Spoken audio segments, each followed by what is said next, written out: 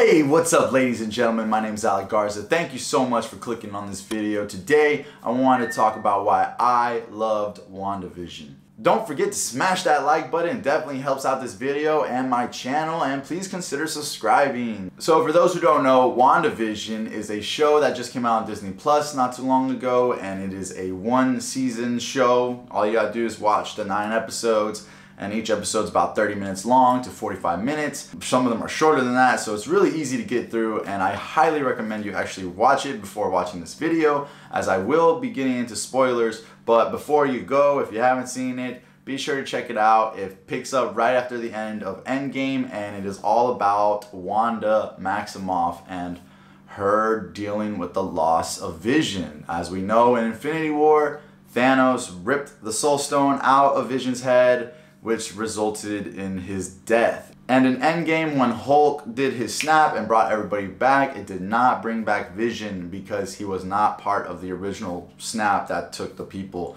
He died separately from that, so he is still dead. WandaVision picks up right after, and from the trailer, you're just like, what's going on? And I was on the same boat, but I gave it a shot, and I'm so glad I did because WandaVision turned out to be a really awesome surprise hit. I loved every second of it, and I'm so glad Marvel took a risk with this show and made it happen. So check it out, and then come back to this video, and we'll talk more. And the first few episodes might throw you off a little bit, but hey, stay with it. I promise you, it will reward you. It is totally worth it. I know newcomers were kind of turned off by the first episode, but trust me, watch it with a loved one, whether it's your, you know, your boyfriend, your girlfriend, your kids, your parents. Watch it with somebody because there's a lot of heart in it, and I think it's more enjoyable when you're watching with somebody you love because love is a big part of the show. So go check it out.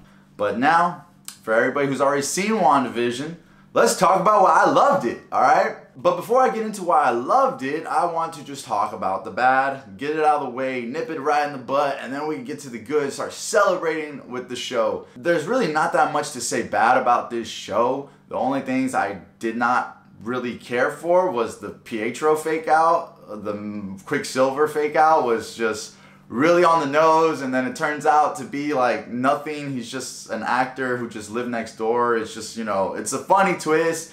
I enjoyed the humor of it because I didn't really get too caught up into it. I remember when they revealed him and they showed the white hair from the back at first, I thought it was going to be Magneto. That would have been the best thing ever. I would have lost my shit if they had Magneto in this uh, show because everyone knows in the comics Wanda is the daughter of Magneto, but the MCU haven't really taken that route yet or explored it, so I'm curious if they ever will. But to have Quicksilver showed up was still really interesting and fun in that episode, at the end of that episode. And then to see him in his costume the next episodes and interacting and doing his thing was really fun. But for it to just be a fake out was like, alright, like it was a little too on the nose, too tongue in cheek. It was like Marvel saying, I know the fans have all these conspiracy theories and they like, you know, they like this, but we're gonna throw this right in front of them and then just like screw them over out of it, which was fine. Like I'm okay with it, but I'm just saying there was something I had a nitpick, probably that just because I could see how it could piss off a lot of viewers. My last pet peeve was just how short some of the episodes were, and that's really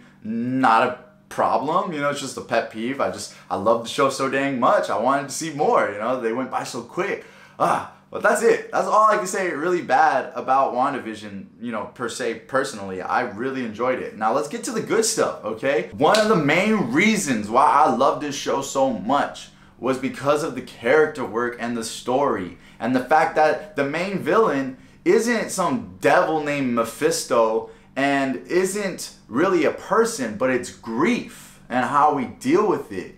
And the whole show revolves around Wanda just being alone and sad. She lost her family. She lost her parents when she was a kid. She loses her brother later on. And then she loses the love of her life. And it's so real to see it in this show how they depict it how they depict her loneliness. And it's crazy to me because she's a superhero and part of a superhero team. So you think being part of a superhero team she would have friends but she doesn't. She really has nobody that she because she lost everyone. And it's so sad to see her when she goes into the new vacant lot where vision had the house that she was going to buy they were going to grow old together in. Bro that tug at my heartstrings And it's so crazy because it starts there and then everything happens and at the end she's back there.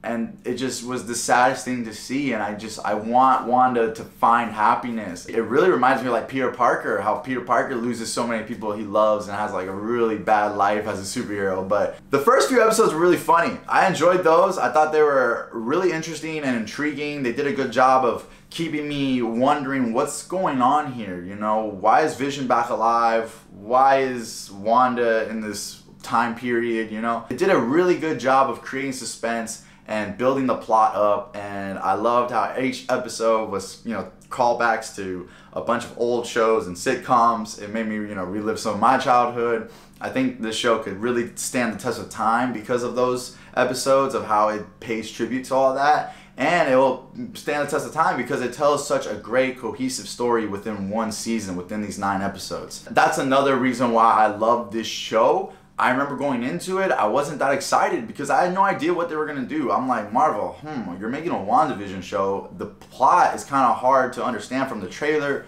What's going on? And as I gave it a shot and watched every single episode every single weekend, I just fell more in love with it and was just so blown away how captivating this smaller story is after we get, you know, Endgame and Far From Home and all these big bombastic stories. We get this very contained and very intimate look at two characters that deserve a lot of shine. And I'm glad they picked them to have this show.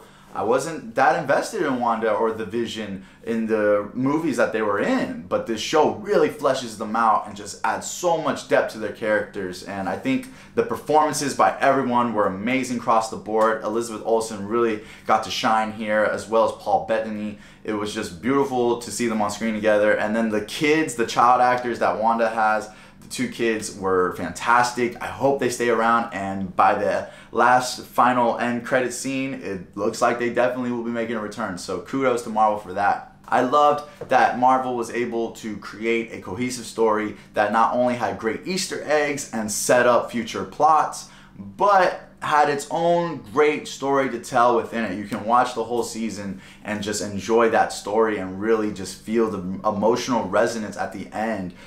Oh, when she says, Thank you for choosing me to be your parent. Oh my gosh, I bawled, I cried, I cried, I cried. I don't know why I cried so much on that. It was just so deep. I almost cried when uh, the vision told her what is grief if not love persevering it's just so deep man and, and that's another aspect that i loved i also loved how the white vision, the, the bad vision, the robot vision is like the Terminator, one of those badass shots. That was such a badass shot with the fire in the background. He's walking. I just love that. It got into some Westworld artificial intelligence territory when uh, the vision uh, tells the white vision, you know, about the ship of Theseus and how is it really preserved? Is it really the original if they keep replacing it and fixing it up? How does it balance? And he convinces the white vision that he is vision and the white vision just flies away. I didn't know what was going on. And I remember when that happened, I had a th- theory like maybe I'm like, wait, is the vision just trying to convince this white vision that he's vision so he could destroy himself because that's what he was programmed to do?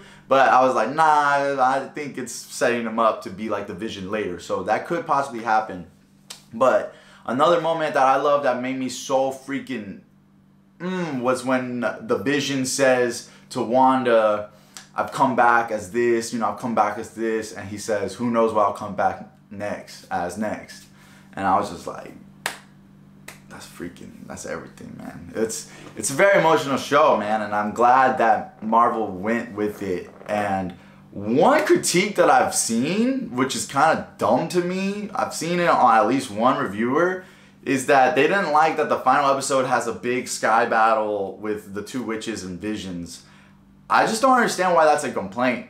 I don't think these people understand. These are superhero movies and they're based off comic books. If you read a comic book, they usually end with a big fight or they have big fights within the comic book. So I don't understand that complaint. It's the dumbest complaint to me that someone complains, oh, there is a big fight battle scene at the end of a superhero movie.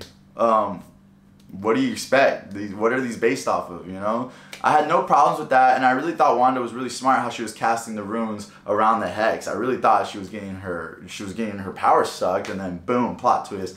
great job by Wanda to learn. This also shows that her character is learning and learning and learning and picking up things to become even more powerful. And I loved how she was born a witch, which born almost a mutant, but they haven't said it, but it's pretty much guaranteed that yes, there are people who are born with powers. And one of my theories is that the mutants have existed and they're just hiding. They're in hiding because they don't want people to know. But now that these superheroes have come out, I think more mutants might flood out. But I don't know. We don't know. I have no idea how Marvel is going to do X-Men and introduce mutants. I don't envy the writers, whoever are coming up with it, because I think it's a very tall task. And I think who, however they do it, some viewers are not gonna like it, no matter what. It's just how it is, you know. you can only make one creative decision. They're cutting out all the other potential things with that one decision. Some people are gonna be butthurt about it, but I trust Marvel. I mean, they got us this far. They've given us some of the best superhero films of all time. So let's just keep them up. Another thing I loved was the costumes. Wow, wow, wow.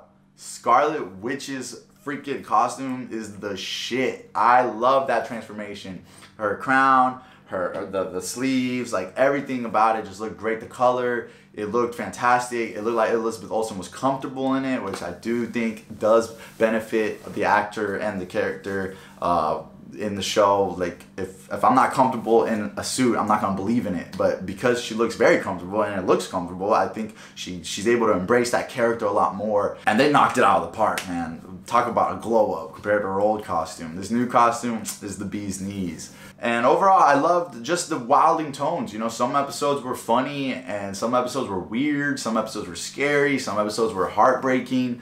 I think the show really offers a whole bunch of tones and a whole bunch of genres within it. It's really fun to watch. And another thing I loved about the show was seeing the vision all broken up into pieces, man. That was that was something I just thought was mind blowing to see on film because just a few years ago in Age of Ultron, you see him as one of the most powerful beings of all time. I would have never expected in a few years that we would see that same character spread across the table, broken up into pieces, discombobulated and dismembered. I thought it was a very powerful visual and scene as Wanda goes down and says, I can't feel you. It was just it was just so much to that scene. I thought it was one of the darker scenes of the Marvel universe, and I thought it was very necessary to show that, and it really hit. And I really liked the Agatha fake out, Agnes. I saw a lot of theories. I really couldn't tell that she was the villain. To be honest, I I had feelings, but I was like, she seems like she's helping her too much. She seems like too much as a friend. Like I don't think she's gonna be the big bad, and she turned out to be the big bad, which I was okay with because every superhero needs their counterpart. I'm glad they didn't bring in Mephisto or like a bigger villain because it would have been too convoluted. Let's just keep it with Agatha Harkness. You know, maybe we'll introduce Mephisto after later on, but for now, I believe she was a good equal to Scarlet Witch and I thought it was a good contrast. And in the comic books, she's kind of middle of the road character. Sometimes she's helping Wanda and sometimes she's not. So down the road, we'll see what they do with that character. But I think she was a great foil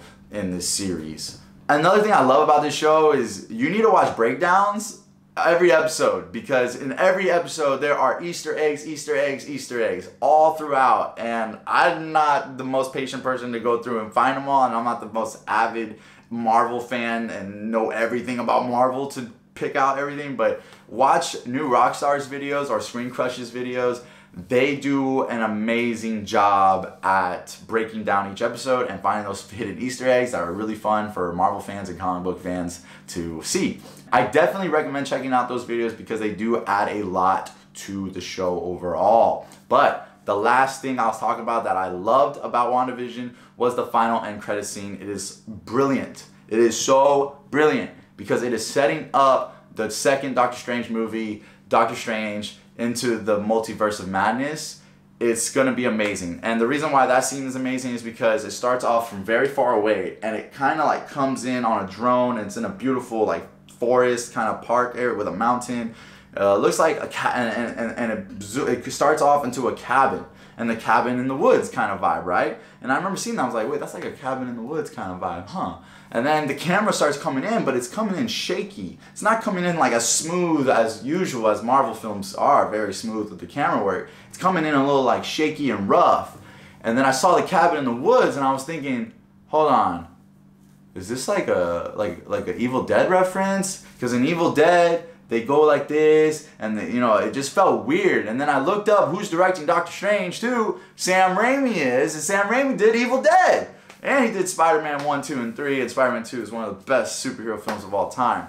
So that was just brilliant in that, like even the shots, the way they shot it is setting up the sequel. Okay, and then to add on to that, you see Wanda she's all alone. She's very sad. It, it is really sad to see her all alone. She's making tea or she's drinking coffee. I'm not sure what she's doing. I remember she has her hand on the kettle and it's burning hot, but she, you know she's super. She's a witch. What, what does it matter? And the it pans in after uh, I pass her and it goes into this room and you see Scarlet Witch on full costume freaking spazzing out, you know, like Doctor Strange is when he's doing his thing. And she's basically astral projecting and reading the Darkhold, like learning everything about it and she looks scary to me and you hear her kids that she lost. You hear her kids say help mom help us! And then her eyes like glow up and it ends. And i'm like what? So they're bringing the kids back? Yes. I thought that was awesome. It was a great setup for the next thing involving wanda and i can't wait to see more of her.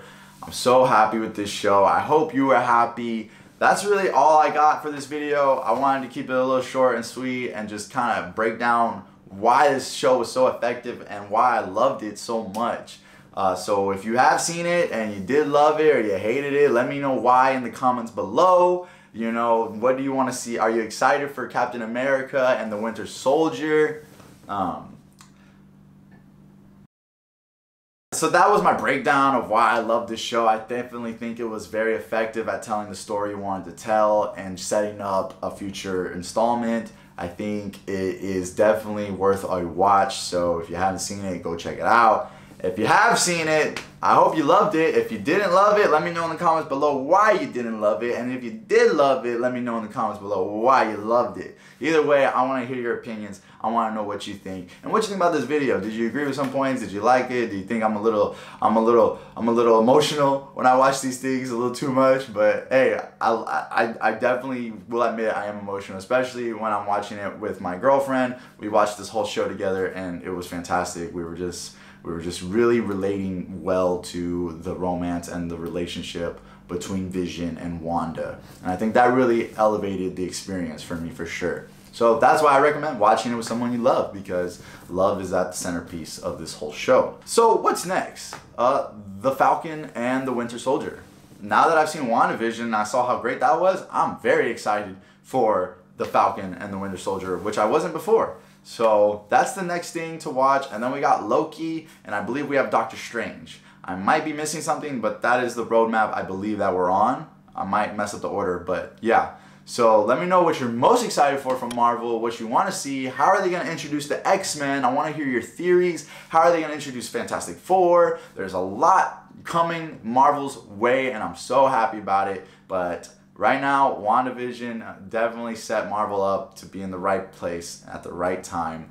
Great job on you knocking out your first MCU series. I know Marvel has their own series on Netflix. That's like a darker kind of universe. I don't think that really is part of the MCU universe just because tonally they don't really match up. But WandaVision being the first MCU series, from Kevin Feige was fantastic. Great job, Kevin Feige. Great job, Marvel. Great job to all the actors, everybody involved, and the costume designers and the writers. Just all of it, all of it. Kudos to y'all. I've thoroughly enjoyed it. Remember to sound off in the comments below. I'm rambling now, so I'm gonna cut it here. Don't forget to leave a like if you liked WandaVision and if you like this video. I like to make videos talking about movies, television shows, uh, video games, and definitely like to do reaction videos to awesome trailers. Those are always fun. But yeah, please consider subscribing. Thank you so much. My name is Alec Garza. Thank you so much for watching. Hope you have a wonderful day, and I'll see you next time. Cheers.